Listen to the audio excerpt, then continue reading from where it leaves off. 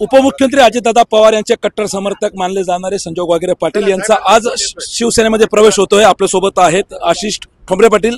आशिषजी काय सांगाल? काय भावना आहे? आज आमच्या पक्षात एक चार दिवसापूर्वी उद्धव साहेबांबरोबर मातोश्रीवर मिटिंग झाली आणि आज आमच्या पक्षात भावी खासदारच म्हणावं लागेल संजय भाऊजी वागिरे यांचा आज जाहीर प्रवेश होतोय. त्यांचं आम्ही अभिनंदन करतोय स्वागत करतोय आमच्या पक्षात. आणि भाऊ चांगल्या मताने पुढे फ्युचरमध्ये निवडून येतील मी अशा त्यांना शुभेच्छा देतो. तुम्ही लोणावळ्यात त्यांचं जंगी स्वागत केलेलं आहे. कशा पद्धतीने लोणावळ्यामध्ये त्यांना त्या ठिकाणी अ, पाठिंबा असेल? तसं तुम्ही आता पाहिलं असन देवरोडपासून तापा सुरू झाला मावळ तालुक्यात आणि लोणात एंडिंग झाला.